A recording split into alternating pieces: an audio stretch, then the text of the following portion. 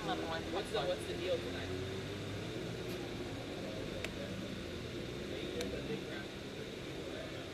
We're you guys. Where are you guys going? Where are you guys going? You guys all. No, I mean, why you guys all grouped up for a reason? Are you going somewhere in particular or are you just grouped up to just go for a ride? you guys all just going around? You guys like a bike club or what?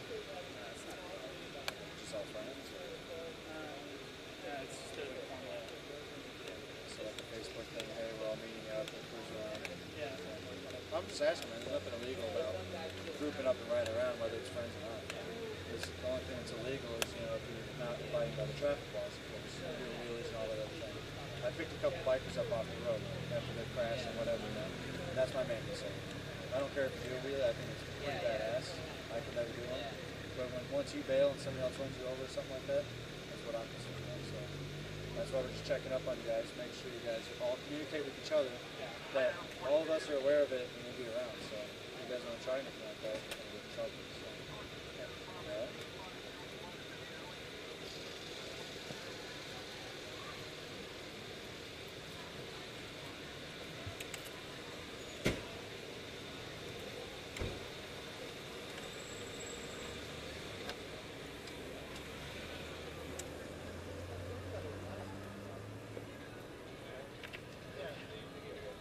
No, no, no. Just last month, somebody. Uh,